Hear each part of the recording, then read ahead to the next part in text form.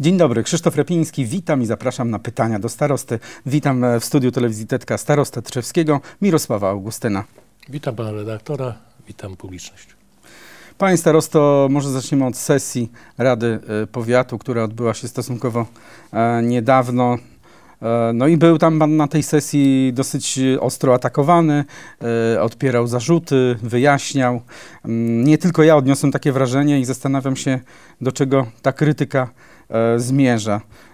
No, w moim przekonaniu nie była ona słuszna, no ale tutaj nie będę już wdawał się w swoje opinie, tylko może zapytam o starosty odczucia, jakby E, jakieś refleksje po tym, co się działo na sesji? Odczucia się nie zmieniają, podejście do sprawy również się nie zmienia. Uważam, że propozycja była najlepsza na daną chwilę y, do osiągnięcia. Natomiast y, uchwała została wycofana, temat zakończony, mam nadzieję. Mhm. No ja tylko przypomnę, że tu wciąż chodzi o, o jakby zaniechanie współpracy e, z miastem i to E, że radni powiatu byli przeciwni, no właśnie stawiając zarzuty, że według mnie no trochę niezrozumiałe, no, że co, że było źle, źle to oszacowane, e, że nie było wyjaśnień. No już tłumaczyłem na sesji, że przy porozumieniach pomiędzy samorządami nie ma mowy o liczeniu złotówki do złotówki. Przecież z tego korzystają mieszkańcy powiatu, miasta, gmin to nie ma nic wspólnego z korzyściami dla prezydenta, dla starosty czy dla kogokolwiek bezpośrednio. To jest dla, dla dobra samorządów i jeżeli ktoś tego nie za bardzo rozumie albo nie chce zrozumieć, no to już trudno. A czy pana w jakiś sposób też dotknęły, czy y, uraziły słowa radnego Adama Kucharka, że radni nie są traktowani jak partnerzy, tylko jak maszynki do głosowania? E, że nie są traktowani e, dość poważnie. Tak mówił Adam Kucharek. Panie redaktorze, dwie kadencje byłem przewodniczącym Rady Miasta i nie zdarzyło mi się nigdy, żeby ktokolwiek z radnych, a byli różni radni, y, powiedzieli, że ich traktuję niepoważnie, że im nie udzielam głosu, że im zabieram głos. Nigdy się nie spotkałem z takim zarzutem. Natomiast jeżeli pan y, Adam Kucharek tak uważa, to jest mi przykro, ale ja tego tak nie traktuję. Na pewno traktuję wszystkich radnych bardzo poważnie i na wszystkie pytania udzielam odpowiedzi. Jeżeli nie, to się umawiam na odpowiedź. Także z mojej strony takiego odczucia nie ma i na pewno mi się nigdy w życiu nie odważył na to, żeby nie traktować radnego poważnie. Mhm. A odważyłby się pan coś takiego powiedzieć jako radny? Na szczęście nie muszę. Koronawirus, a działalność starostwa. Zmieniam temat. E, Tutaj pytanie, czy jednak nie działacie zbyt restrykcyjnie wciąż, bo mm, te obluzowania pozwalają na więcej. E, chodzi o wpuszczanie pod kontrolą większej liczby osób, a nie tylko jakby jednej osoby w asyście pracownika, który e, tego petenta zaprowadza i przyprowadza. No i wtedy tworzy się kolejka przed starostwem. Na pewno tak. Dalej y, twierdzimy, że urząd działa i, i działa w taki sposób y, w miarę zorganizowany, nawet nie w miarę, ale dobrze zorganizowany. Natomiast y, chcemy jeszcze przez ten tydzień chociażby wysądować, czy te uwolnienia, czy te mm, sprawy związane z większą możliwością kontaktowania się osób y, nie wpłyną drastycznie na, na sytuację w naszym powiecie. Jeżeli nie, to podejrzewam, że od za tydzień, być może 10 dni, przywrócimy normalne y, funkcjonowanie w urzędzie. Natomiast y, największe kolejki tworzą się w wyniku w, do Wydziału Komunikacji, jak zawsze zresztą. Tam zawsze ponieważ, było tłoczno. A w pewnych momentach dnia, prawda? Y, tak, i tutaj też ten poniedziałek, wtorek, większość petentów właśnie to są osoby, które udają się do Wydziału Komunikacji. Natomiast na pewno Wydział Komunikacji bardzo się zmienił, jest przeorganizowany, działają i maile, y, czyli można się rejestrować mailowo, telefonicznie. Pewnie, że trzeba y, w niektórych momentach poczekać na odebranie tego telefonu nawet 15 minut, ale dopóki nie wpuścimy, y, nie damy możliwości pracy takiej bezpośredniej, niestety takie utrudnienia będą. Ale dalej to nie powoduje żadnych konsekwencji dla y, petenta. A tak paradoksalnie, czy ten stan epidemii i tych wielkich utrudnień e, nie pokazał i urzędnikom, i e, mieszkańcom, klientom, petentom urzędów, że można wiele spraw załatwiać właśnie online, e, ePUAP-em, innymi jakby platformami, czy też wrzucaniem dokumentów do, e, do urny, czy przesyłaniem pocztą? Tak, bardzo i to jest na pewno pozytywne. Są, są na, na świecie urzędy, gdzie petent y, bardzo rzadko jest w ogóle wpuszczany do, do, do środka. Wszystko odbywa się na zasadzie korespondencji albo mailowej, telefonicznej. Natomiast y, w wyniku tego postępowania jest dużo y, błędów, dużo brakujących dokumentów. I to jest główny powód.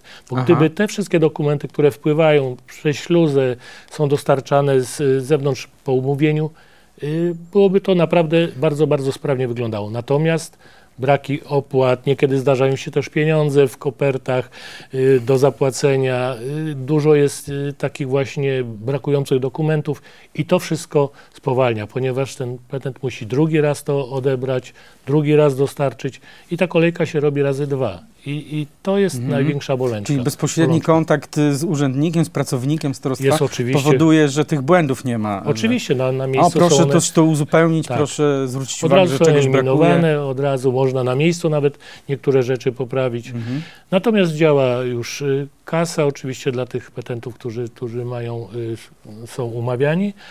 Y, Pozostałe wydziały również działają, także I działa również biuro paszportowe, Tak. które no, miało zawieszoną działalność przez e, tak, ale czas. to wszystkie biura w Polsce miały zawieszone działalności. Tutaj to nie my y, bezpośrednio za, zawiesiliśmy tę działalność. Natomiast y, już od dwóch tygodni biuro działa i myślę, że ludzie są, też mieszkańcy naszego powiatu zadowoleni z tego faktu. Panie starosty, zapytam o obiekty sportowe, bo tak zawsze e, pyta się wyłącznie gminy, e, przedstawicieli władz gmin obiekty przyszkolne, ale przecież wy jesteście organem prowadzącym e, dla szkół średnich, więc jakby e, też e, jesteście tym nadzorcą jakby ponad dyrektorami szkół obiektów e, sportowych. O, bodajże od 16 maja można korzystać nawet z hal sportowych. Zgadza się. Zgadza się. Powiatowy Ośrodek Sportu jak najbardziej działa. Orliki są dostępne, hala jest dostępna. Natomiast jeżeli chodzi o szkoły, tutaj dyrektorzy w dalszym ciągu decydują o tym, czy te Czyli jakby tutaj starosta otwierać. pozostawił wolną rękę, nie, Tak. nie ma, że- zabrania na przykład korzystać z hal sportowych. Nie. Tutaj, tutaj staramy się już od dłuższego czasu jak najwięcej kompetencji dawać właśnie dyrektorom. Nie chcemy, y, chcemy decydować o tym, co jest ważne, czy bardzo ważne dla budżetu y, starostwa, czyli wynajmy długoterminowe, jakieś umowy, które wymagają konsultacji prawniczej. Natomiast wszystkie pozostałe rzeczy chcemy zostawiać dyrektorom, po to ich wybieramy i te kompetencje muszą być jak największe, jak Tak najszersze. tylko dodam nawiasem, mówiąc, że trochę inaczej jest w mieście, tam jest po prostu wydany zakaz korzystania z hal sportowych przez y, wiceprezydenta Adama No Urbana. takie uprawnienia pan społecznych. prezydent ma i, i może je wprowadzać w życie. E, Panie starosto, co się dzieje w szkołach średnich? Przygotowania do matur Tak. przede wszystkim?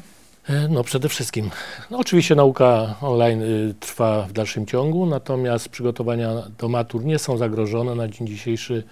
Wszystkie placówki są praktycznie przygotowane, y, zdobywają teraz certyfikaty związane z procedurami y, związanymi właśnie z pandemią. Y, Tutaj, jeżeli chodzi o środki zabezpieczające, sanitarne, to wszystko te placówki otrzymały i wszystko stoi na po raz pierwszy drodze. matury będą się odbywać e, no, w takich warunkach, że w wielu klasach, że mniejszych grupach, prawda? E, Nie na wielkie jakieś. Okazuje się, że łatwiej zorganizować wesele, aniżeli przeprowadzić maturę. Ale, ale tak to wygląda. My się z tym zgadzamy. Nie ma jesteśmy, problemu. nie, jesteśmy przygotowani naprawdę we wszystkich placówkach. y, Te prace są. Dyrektorzy nie narzekają. Nie. Chociaż wiem, że, że wymaga to e, i podjęcia e, najpierw wyliczenia i określonych wymogów, żeby spełnić i, i przede wszystkim no, zatrudnienia ludzi, żeby byli przy tych egzaminach. Tak, nawet jesteśmy przygotowani na wypadek, gdyby coś się działo, to będą wspomagali nas y, nauczyciele z, ze szkół podstawowych, y, z innych placówek, także tutaj y, myślimy o wszystkim, żeby nie było zaskoczenia, nawet gdyby to dzień wcześniej miało się okazać coś niedobrego, czyli, czyli coś związanego z koroną. Tak dużo mm, w ostatnim czasie mówimy e, o szkołach średnich y, technicznych, e, szkołach średnich branżowych, których się uczy zawodu. I tak sobie pomyślałem, że przecież e, równie ważne są egzaminy zawodowe, e, co matury dla tych młodych ludzi. I sobie pomyślałem, że do matury to jeszcze może człowiek się przygotować w domu, online, korepetycje brać, ale jeśli ktoś y, ma ważny egzamin zawodowy, i musi korzystać z warsztatów, to chyba trudno mu było przygotować no tak, się. Były zagrożone, y, egzaminy zawodowe były zagrożone, natomiast y, jest już decyzja o tym, że one się odbędą, będą się odbywały po maturach, czyli koniec czerwca i początek lipca.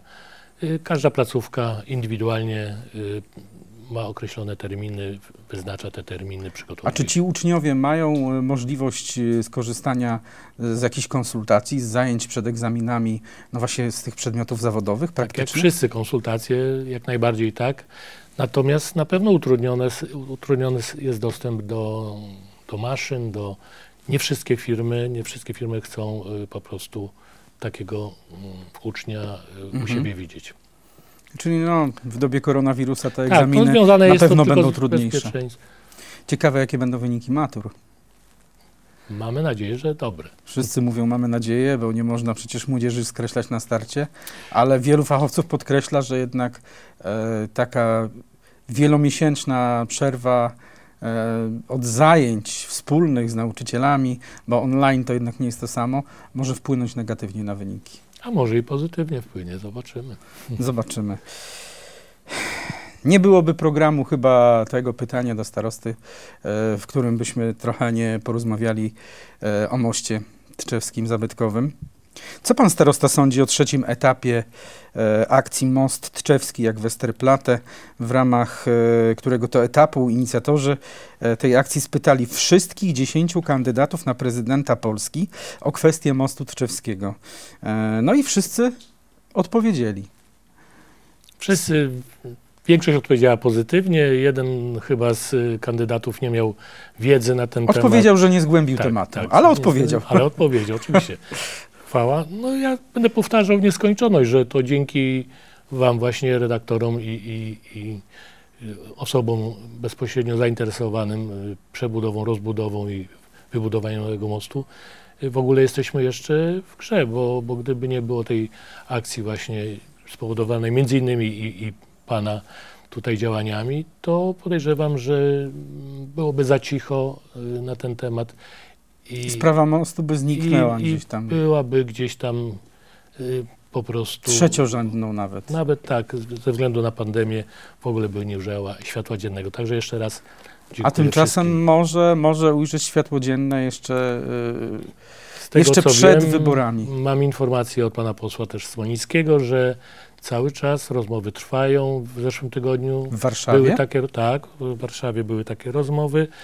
Y, oczywiście y, na końcowy efekt poczekajmy, ale myślę, że do A rąbka tajemnicy pani starosto uchylić. Kto tam rozmawia o tym naszym moście? y, może powiem, jakie są kierunki. Są dwa takie kierunki. Jeden to jest y, jednak dalej przejęcie y, mostu przez pana marszałka. Natomiast wiadomo, że my nie będziemy dążyli do tego, żeby pan marszałek przejął nasz, nasz, naszą bolączkę w taki sposób, jak, jak my byśmy to mieli przejmować.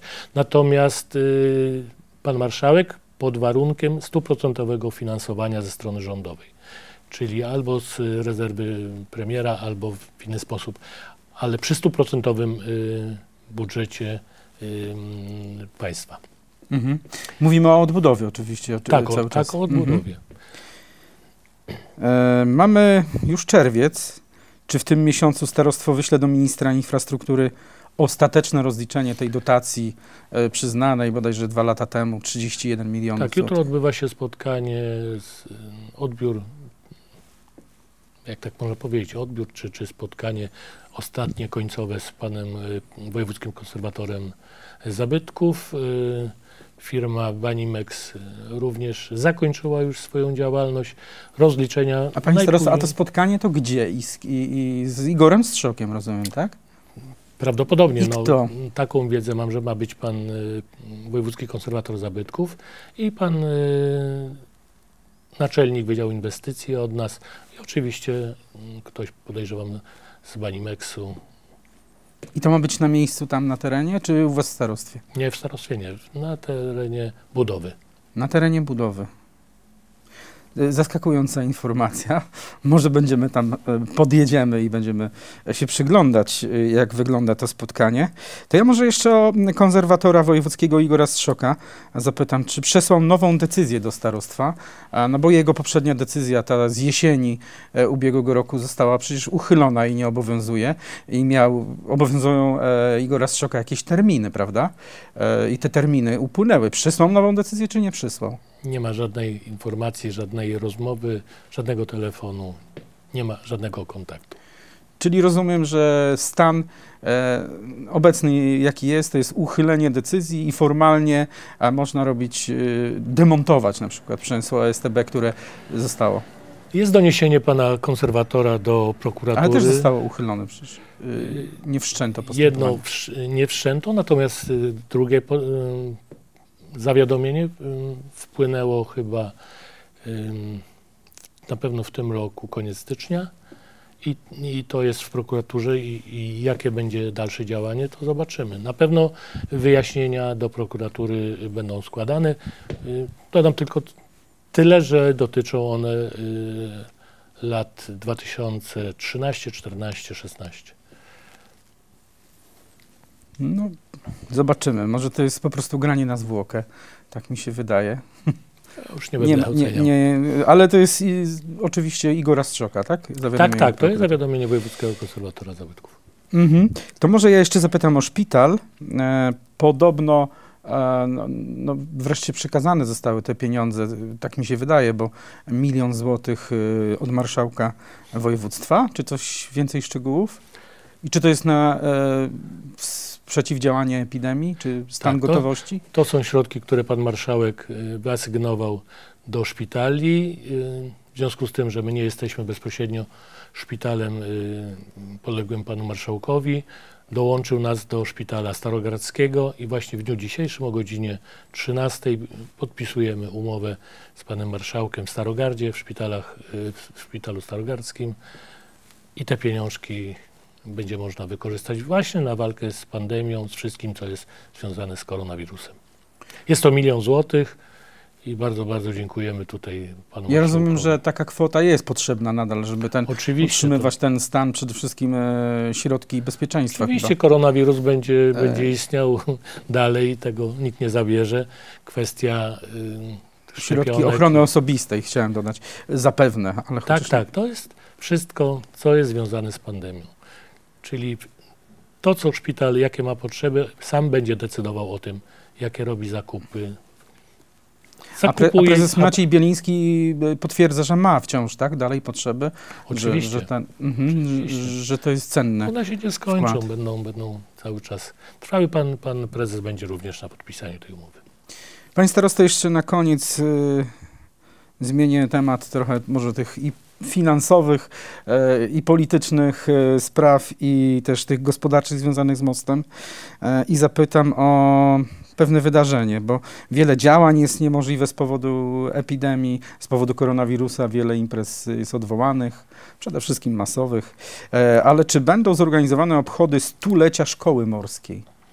Oczywiście nie były one nigdy zagrożone, natomiast y, w jakim stopniu będą, będzie się to odbywało, na pewno zmieniły Inaczej się nasze trochę? plany, tak, były zupełnie inne. Natomiast y, na dzień dzisiejszy y, poszły już zaproszenia. Y, Wiemy, że mm, 14 o godzinie 12.30 y, w parafii Podwyższenia Krzyża Świętego odbędzie się msza w intencji Szkoły Morskiej, stulecia Szkoły Morskiej. Y, We wtorek 16 odbędą się uroczystości w Tczewie. Pierwszym LO zostanie osłonięta tablica pamiątkowa. wszystkich absolwentów szkoły y, z tego okresu, y, gdzie budynek znajdował się y, w pierwszym LO, oczywiście, oraz posadzenie dębów upamiętniających to wydarzenie.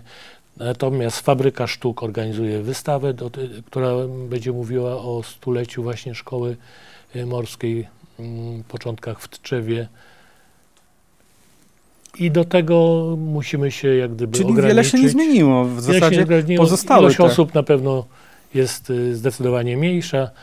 Y, Natomiast y, miała być jeszcze wydana publikacja pana Kazimierza Ickiewicza, natomiast ze względów na, na pandemię zostanie ona dokończona troszeczkę później, ale w tym roku ma ujrzeć światło dzienne również. No to dziękuję. To już y, można to określić i nazwać zaproszeniem na te Oczywiście wydarzenia uroczyste. E. Panie starosto, dziękuję bardzo za udział w tym programie. To już wszystko. Również Państwu bardzo serdecznie dziękuję, że nas oglądaliście. Przypominając, że możecie e, do naszej redakcji nadsyłać e, pytania do starosty, które ja postaram się w tym programie zadać. Dziękuję Państwu, dziękuję Panu. Dziękuję. Do zobaczenia.